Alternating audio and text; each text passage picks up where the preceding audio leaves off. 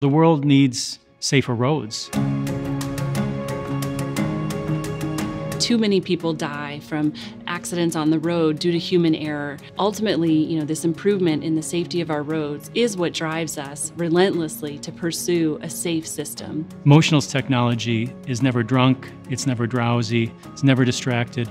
It's always focused on safely transporting our passengers from point A to point B. This technology starts out experienced. It starts out inherently knowing its capabilities, its surroundings, its ability to navigate the environment. We test our vehicles, you know, in extreme ways. So on the track, you know, we will have up to 20 AVs operating at a time, not only, you know, interacting with each other at intersections, but we also have robotic pedestrians, bicyclists, other cars that we will, you know, move out in front of our AVs at moments uh, when the AV isn't expecting it. It's the opportunity to contribute to safer roads.